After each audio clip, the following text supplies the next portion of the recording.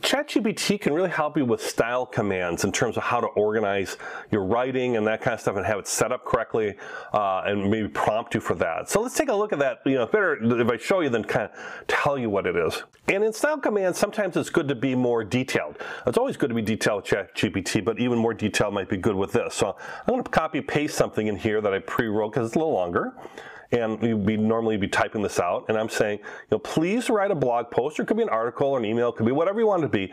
And let's say I want to be on navigating office politics, right? So that's the subject, but I'm asking it to now be more stylistic, right? Use H2 headings, which if you write blogs, you know, that's a style of headings, right? So for our blogger experts, more better blogger experts than me, but you want to set it up so there's H2 headings, and you're telling it style-wise that you want to use persuasive language, right? So I want to use persuasive language as opposed to maybe a friendly tone tone or a stern tone or you know, non-persuasive language, but I want to talk about office politics with persuasive language, ask questions between sections, and then back up the main points with examples and stories, right?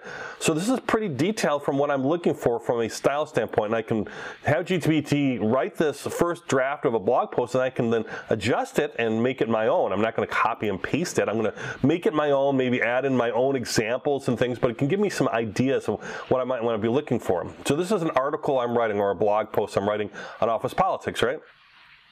So here's navigating office politics, how to succeed without losing your integrity. We could even change that as ChatGPT to come up with alternative titles. Maybe we'll do that in a moment. So it has like, a, this is like a, a, writing type thing, right? So office politics can be a tricky game to play, um, and then it gets into understanding the power dynamics, right? So that would be the first heading, which would be a H2 type heading, right? I've seen where ChatGPT will actually put the words or uh, H2 in front of it, you know, and I think as ChatGPT evolves, you might even see this where it'll actually change the size of the fonts. Uh, we might be watching for that at some point, but right now it's not really doing that. Uh, so then it talks about the first step and then it talks about the power dynamics and then it gives that example because why is it doing that? Because I asked back up the main points of examples and or stories. Maybe I should have said or stories. So here's a, here's an example, right? Um, and then it has a nice little wrap up that power dynamics can also be fluid and then ask questions to understand motivations, right? So this is again talking about this heading here about navigating office politics and to understand motivation. And then here's an example of how you can use questions to understand motivations, right? Uh, always seems to be looking for ways to one up you, you know, a team member, a colleague. Instead of getting defensive, try to understand motivation, right? Are they insecure about their performance? Are you trying to impress the boss? What's going on here, right? And then avoid gossip and drama. And then again, it tells a little thing about that. And then has the for example, standing up for your values, you know, uh, then has a little, you know, paragraph and then for example, right? So here's a nice little, you know, more than little actually blog post. This is a pretty extensive article or blog post about navigating office politics.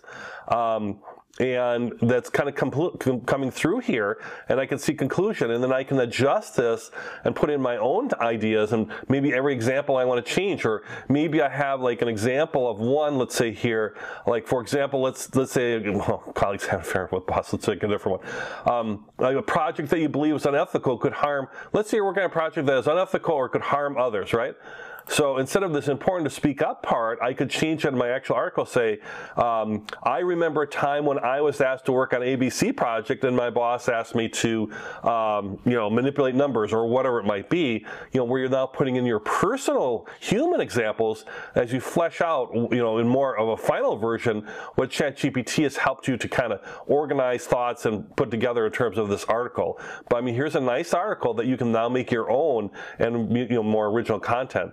And by the way, since we're here, and you've probably seen this in many other places, but you can ask GP, ChatGPT, you know, can you give me 10 other titles um, for this article or for this for this.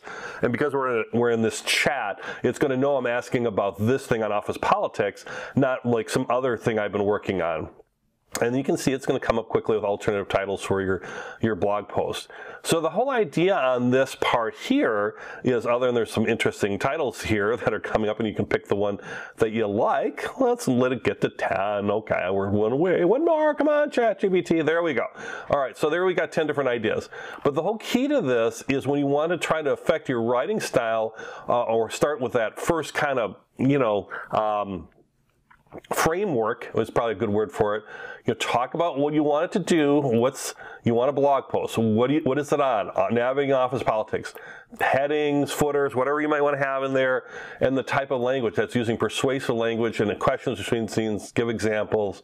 Um, you know, that's a real more, you can see this is a more formal, persuasive language thing where I could then, let's say, at, you know, you know, you know, now write in a friendly and fun tone. Oops, tone. Right, so I'm going to change that style here real quickly, uh, just so you know, not so we can get an idea here. Oops, uh, right, right, Steve. Say now type, now write, now write in a friendly and fun tone. I'm still within this chat, so it knows what I'm talking about here. But now um, it's going to write in the, instead of this persuasive, more formal tone, it's going to change the tone and keep everything else the same, but it's going to write it in a more friendly and fun tone, or it should. Let's double check, see if it does. So, hey there, my office politics savvy friend. Welcome to the blog post that helps you, all right? So there you go. That's pretty friendly versus the more formal thing, right?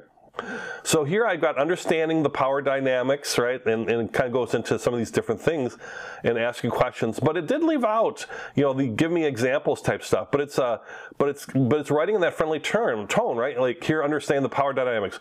Okay, so you've got some bigwigs in the office who call the shots. And then there are those the folks who are influence those bigwigs. It's like a game of chess, right? But don't get caught up in the power dynamics. See how it's much more fun. Um, uh, just be aware it's like knowing the lay of the land before you set out on a hike, right? See how friendly and persuasive, and not persuasive, how friendly this is versus understanding power dynamics. Let's go back up here. You know, the first step is understand this. Who are the decision makers? What's going on? Who's influencing? You know, but it did give an example, you know, um, which I asked it to, but because I didn't ask it in the follow up, uh, it didn't. It just changed everything into the more friendly and fun tone. Uh, but it's okay because I know I might be able to add my own examples in there.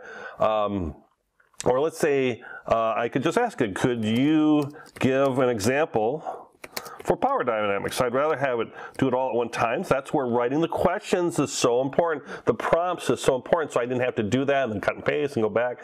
And, you know, so here's an example power. Let's say you're a junior player and it gives you an example. Maybe I should have said write that in a friend, uh, you know, fun and friendly tone. Let's do that too. Let's just stop the generation. So it matches up here. And I'm going to go back up here uh, in a friendly and fun tone. Okay. Let's see if this changes it now. So I'm asking for power dynamics in a friendly and fun tone. Absolutely, my friend. Let me give you some example. Imagine you were at a party and there's one person who seems to know everyone. All right, so interesting, isn't it? Instead of that real formal type stuff, now it's giving me a nice anecdotal, you know, example that might be a, a really good way for people to understand that this particular thing about power dynamics. So as you can see, asking the correct questions in, in, the right order and the different things you can do, you can start building this all out. And you can say, imagine your party, and you, they, when you write it, you could take this and then add on your own part that says, I remember I, I, was at this business meeting and boy, it was just like a cocktail party, except nobody was drunk or whatever, right? So that's the idea behind it. Uh, when you're looking at style, again, what are you writing about? What are the style? What's the topic? What are the style things you're looking for? Persuade, ask questions, all that stuff. Back on main points, examples, and stories. So the more you can put into your style part, the more it'll come back with the style that you might be looking for, or more fit might fit your eventual writing style as you start to adapt these things and to ethically adapt these things into your own writing that you're doing.